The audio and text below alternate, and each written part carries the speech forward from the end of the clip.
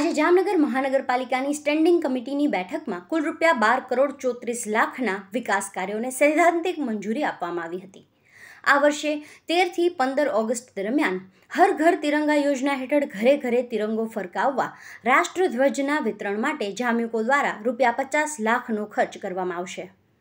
આજરોજ તારીખ ઓગણત્રીસ સાત બાવીસના રોજ જામનગર મહાનગરપાલિકાની મળેલી સ્ટેન્ડિંગ કમિટીની મિટિંગમાં અલગ અલગ વિકાસ કાર્યો એટલે કે લોકભાગીદારીના ત્રણ વોર્ડના ટેન્ડરોને મંજૂરી, સ્ટ્રોમ વોટર ડ્રેનેજ એટલે કે બોક્સ કેનાલ અલગ અલગ વિસ્તારોમાં, વરસાદી પાણીના નિકાલ માટેની કામગીરીને મંજૂરી ફાયર માટે સાધનોની ખરીદી અને ભારે વરસાદ પડે ત્યારે રેસ્ક્યુ બોટની જરૂર પડતી હોય ફાયરને, તો લોકોને રેસ્ક્યુ કરવા માટે બે નવી બોટની ખરીદી. આ સહિત ટોટલ બાર કરોડ ચોત્રીસ લાખના કામોને આજે સૈદ્ધાંતિક અને મંજૂરી બંને આપવામાં આવી છે. આ વખતે પણ દર વખતેની જેમ શ્રાવણી મેળામાં આઠમના દિવસે પ્રદર્શન ગ્રાઉન્ડ ખાતે આપણે લોક ડાયરાનું આયોજન પણ કરશું. પંદરમી ઓગસ્ટની પૂર્વ સંધ્યાએ ચાંદી બજાર ચોક ખાતે દેશભક્તિ ગીતોના કાર્યક્રમ પણ જામનગર મહાનગરપાલિકા દ્વારા આયોજન કરવામાં આવશે અને ઓપન ફોર ઓલ હશે.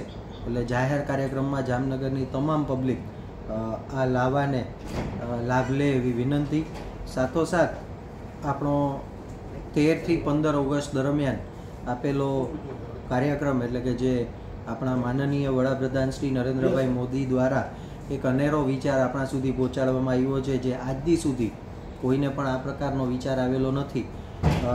તિરંગાની શાન વધે અને તમામ જનતાની અંદર દેશભક્તિની ભાવના જાગૃત થાય એના માટે દરેક ઘર, દરેક બિલ્ડિંગ, દરેક પ્રોપર્ટી, હર દુકાન, હર મકાન, હરેક જગ્યાએ આ ત્રણ દિવસ ભારતનો આપણો તિરંગો ઝંડો તમામ લહેરાવે અને પોતાને ધન્યતા પ્રાપ્ત થતી હોય એ પ્રકારનો ભાવ ઉત્પન્ન થાય. એના માટેનું આયોજન ટોટલ પચાસ લાખના ખર્ચે જામનગર મહાનગરપાલિકા કરશે અને દરેક ઘરે દરેક પ્રોપર્ટીની અંદર એ ઝંડા પહોંચે એની વ્યવસ્થા પણ કરી અને આ કાર્યક્રમને આપણે સૌ સાથે મળીને સુપેરે પાર પાડીએ એવી સૌને વિનંતી. આભાર, અસ્તુ. જામનગરમાં પંચેશ્વર ટાવરથી સત્યનારાયણ મંદિર રોડ તરફ જતા માર્ગે ગોવાળની મસ્જિદ સામે આવેલ એક બહુમાળી ઇમારતના છઠ્ઠા માળે આગ ભભૂકતા રસ્તા પરથી પસાર થતા લોકો ટોળે વળ્યા હતા.